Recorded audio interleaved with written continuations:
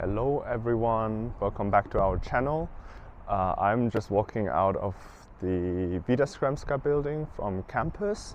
Uh, we just had our midterm uh, exam or presentation that went really well.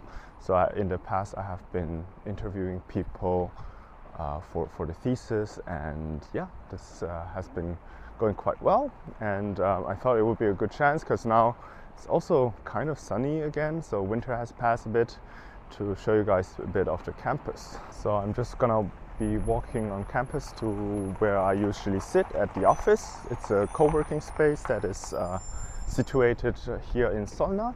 So just walking up the street, uh, yeah, I'm walking past, uh, what is it called, Widerströmska.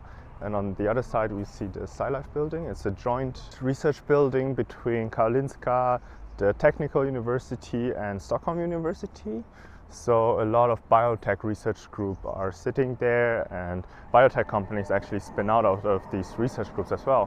When I just walk up a street on my left side is actually the, I think it's called Public Health Ministry of Sweden. It's super hidden and it's just on campus as well.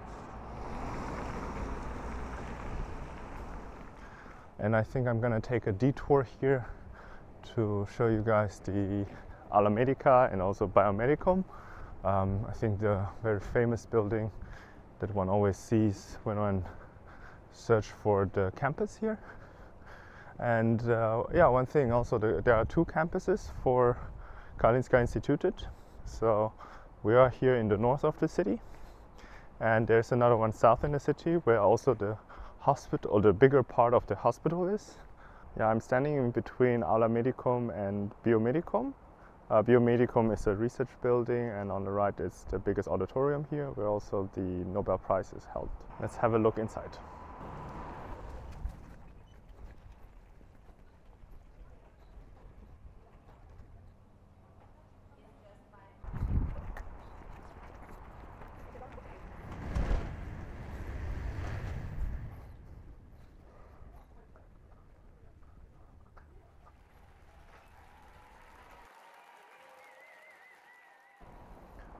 All right, now I'm kind of standing right on the bridge between the site where the campus is, the Karolinska Institutet, and if we turn around, you can see the other side is where the hospital is, with uh, their research building and then also the new hospital building um, there.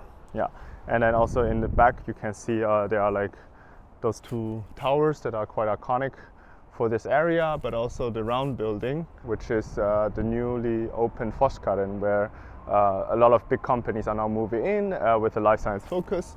And also uh, yeah like big pharma companies are in this area as well. So the, the whole area is very life science focused and um, all the companies and institutions are located here. By the way they are building a new subway station here and a new line that will be connected to the central station of stockholm hence the, the construction site here so there you can see the bus, they called the Pendelbussen, that takes the student and staff from Solna campus to the other campus. And I think um, the bus takes around 20 to 30 minutes from one campus to the other, and it's definitely the faster way to, to commute between the campuses. And for me, uh, I'll be heading to the office. So we're sitting in a building called Innomedicum. It's a co-working space with uh, also a lab to, for hire for companies, startups and spin-offs from Karolinska and also external. Wait, I have to go this way. um, yeah, it's a really, really nice campus. It's uh, with a lot of old buildings, but also the flashier ones, the new ones on, on, behind me, the Aula Medica, for example, and all the older buildings are now most, mostly uh, being renovated for companies to use. There you go, this is the building where we are sitting and the nice thing is also in front of it there's always some taco trucks or food trucks providing food, lunch for, for people. Alright, I'm standing in front of the building, my, our office uh, yeah, behind me that's the library over there with the restaurant right now and also the gym and um, the Innomedicum building with the co-working space and then also behind me again the Aula Medica with the food truck in front of it.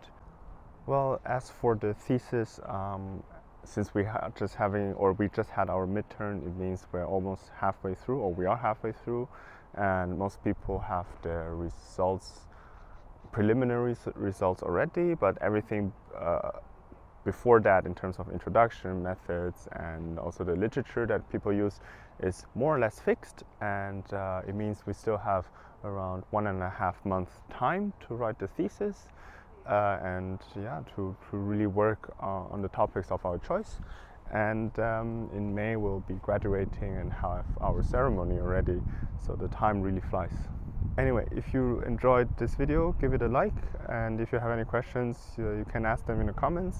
And otherwise please check out our blog and uh, you can also email us if you have any queries. See you in the next video